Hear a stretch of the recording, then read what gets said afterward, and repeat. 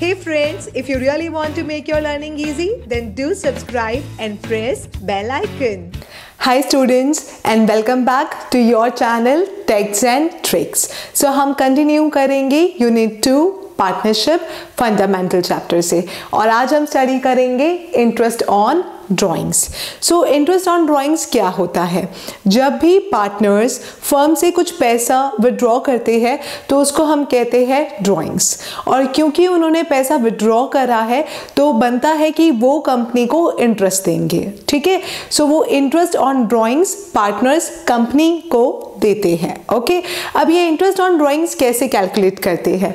तो there are two types of interest on drawings एक होता है रेगुलर ड्राइंग्स एक होता है इरेग्युलर ड्राइंग्स तो जब पार्टनर रेगुलर बेसिस पर मनी को विड्रॉ करता है that is same amount at regular intervals may be on the first date of every month may be on the middle date of every month may be at the end of every month same amount same time पर withdraw करता है हर वक्त. उसको हम कहते हैं regular drawings well irregular क्या होता है? इसके बिल्कुल अपोजिट जब वो कितनी भी अमाउंट कभी भी विड्रॉ कर लेता है या may be same amount but कभी भी विड्रॉ कर लेता है एक बार फ़र्स्ट अप्रैल को करी एक बार फिफ्टीन नवंबर को करी एक बार फ़र्स्ट दिसंबर को करी जब उसे चाहिए तब वो विड्रॉ कर लेता है.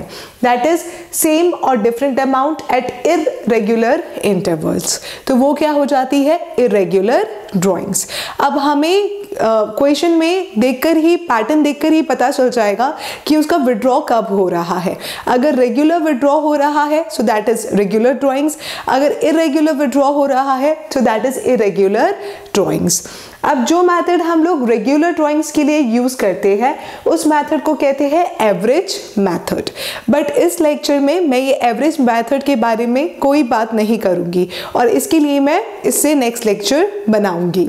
आज मैं जो डिस्कस करने वाली हूँ, वो है इरेग्युलर ड्राइंग्स की मेथड जिसका नाम है प्रोडक्ट मेथड इस मेथड में क्या होता है? जैसे कि मैंने कहा, पार्टनर इरेग्युलर ड्राइंग्स करता है एट इरेग्युलर डेट्स। सो, यहाँ पर फॉर्मूला क्या होता है? Interest on drawings equals to total drawings, यानी जितनी भी ड्राइंग उसने करी है और ड्राइंग्स करने के बाद जितने भी मंथ्स लेफ़्ट है, उन दोनों को मल्टीप्लाई करते हैं तो टोटल ड्राइंग्स आता है। वो मैं अभी आपको एग्ज़ाम्पल में कैलकुलेट करके बताऊँगी। वो टोटल ड्राइंग्स हम यहाँ पे लिखते हैं। जितना भी क्वेश्चन में रेट ऑफ़ इंटरेस्ट दिया हुआ होता है, वो हम मल्टीप्लाई करते हैं and multiply by one divided by twelve यहाँ पे वन डिवाइडेड बाय ट्वेल्व क्यों है? क्योंकि साल में बारह महीने होते हैं एंड उसने कोई भी महीने में कभी भी विदड्रॉ किया है। इसलिए यहाँ पर हम मल्टीप्लाई करते हैं वन बाय ट्वेल्व ठीक है? So let us understand this concept better with an example अब यहाँ पर आपको क्वेश्चन में दिया हुआ है Kanika withdraw the following amount during the year 2017 to 18 अब मुझे दिया हुआ है फ़र्स्ट अप्रैल को 10,000 first June 9,000 first November 14,000 first December 5,000 अब फ़र्स्ट को तो विड्रॉ किया है बट रेगुलर इंटरवल्स पर नहीं करा है। एक करा है अप्रैल में फिर जून में फिर सीधा नवंबर में फिर दिसंबर में। तो ये क्या हो गया? इरेगुलर इंटरवल्स और ये हमारी कौन सी मेथड हो जाएगी? इरेगुलर ड्राइंग्स यानी कि प्रोडक्ट मेथड अब यहाँ पे मैंने चार कॉलम बनाए हैं।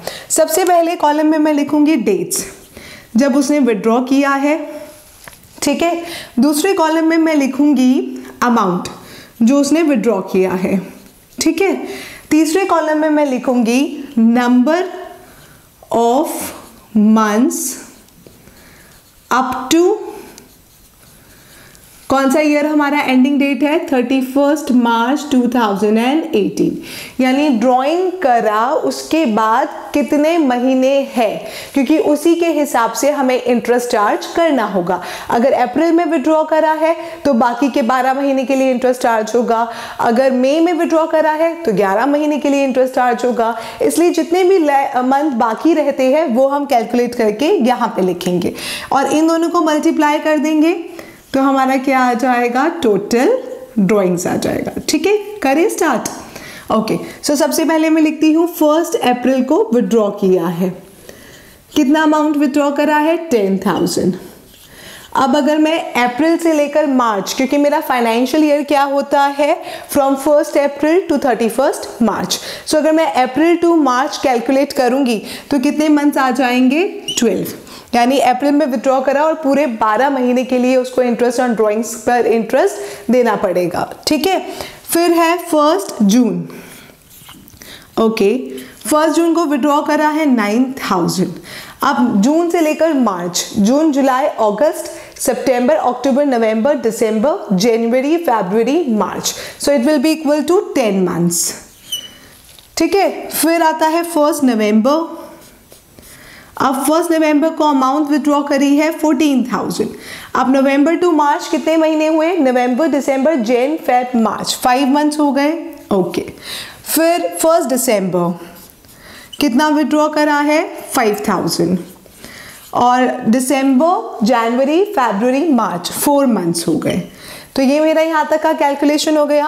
अब हम इन दोनों को मल्टीप्लाई करेंगे तो हमें क्या मिलेगा? Total drawings so ten thousand multiply by twelve one lakh twenty thousand nine thousand multiply by ten ninety thousand fourteen thousand multiply by five that is seventy thousand and five thousand multiply by four that is twenty thousand अब अगर मैं इसका total करूँगी तो इसका total आ जाएगा total drawings हमारा आ जाएगा थ्री लैख यानी पूरे साल इसने कितना ड्राइंग विड्रॉ किया है? थ्री लैख अब अगर मैं देखूँ जो मेरा इंटरेस्ट ऑन ड्राइंग्स का फॉर्मूला है, जो हमने अभी देखा, क्या होता है? टोटल ड्राइंग्स कितना हुआ टोटल ड्राइंग्स थ्री लाख तो मैं यहाँ पे लिख दूँगी three lakh rupees multiply by rate of interest कितना रेट ऑफ़ इंटरेस्ट कैलकुलेट करना है? सिक्स परसेंटेज पर एनम तो six percentage and one divided by twelve अगर हम इसको कैलकुलेट करते हैं तो हमारा यहाँ पर आंसर क्या आ जाएगा?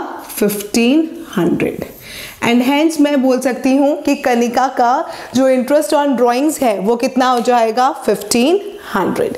सो इस तरीके से ड्राइंग्स की कितनी मैथड हो जाती है? दो मैथड्स हो जाती है। अभी हमने कौन सी मैथड डिस्कस करी है? इरेग्युलर ड्राइंग्स प्रोडक्ट मैथड तो ये आपका प्रोडक्ट मैथड हो गया। और इसके बाद वाले लेक्चर में हम लोग पढ़ेंगे एवरेज मैथड और अगर प्रोडक्ट मैथड में कोई डाउट है तो आप नीचे कमेंट बॉक्स में लिख सकते हैं। That's it this is Ankita signing off